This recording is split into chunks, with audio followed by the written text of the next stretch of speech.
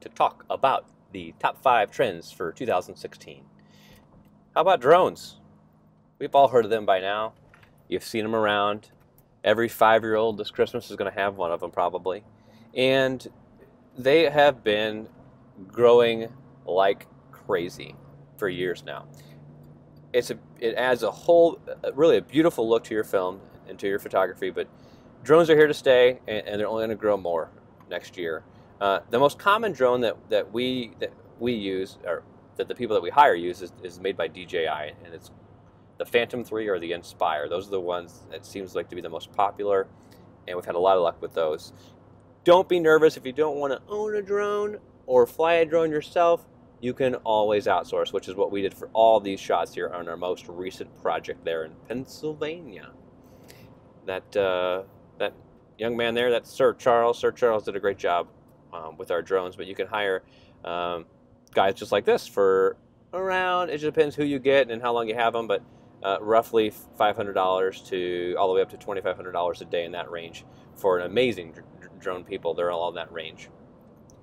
Uh, this here, Facebook. You ever heard of it? Yeah, it is. Uh, it's on the video on Facebook is is also on fire, and the growth has been with Facebook.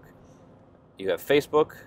Uh, it now is a 300 billion dollar empire. It's, it's, it's almost double the size. Actually, it is uh, double the size of, of a Disney company, for example. It is the fastest growing social outlet out there, and they are really focusing on growing videos. So you want to post all of your videos on Facebook. Stay very focused on your pages, interact and engage with your fans because Facebook is the way to market yourself when it comes to video. Ain't nobody growing faster right now or doing a better job with video promotions and growing with video. Facebook is the king right now. So if you have to pick one social media to focus on, Facebook is king. And keep in mind, Facebook owns Instagram, they own WhatsApp, and they are much bigger than just Facebook. Videos on average, you can get you know 10,000 views on, on, that's what we've been able to get on average, engaging with our customers and promoting those posts.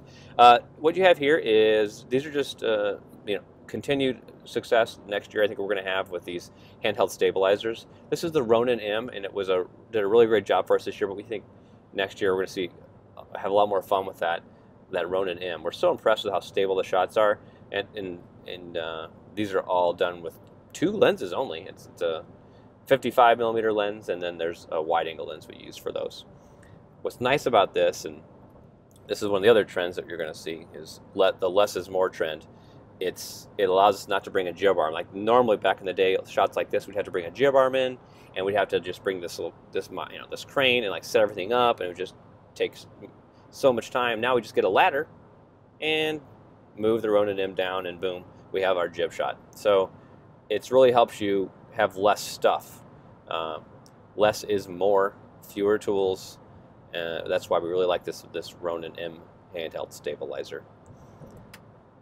The lens category, you don't need to have 10 and 15 lenses. We usually only shoot with uh, about four or five lenses on a shoot.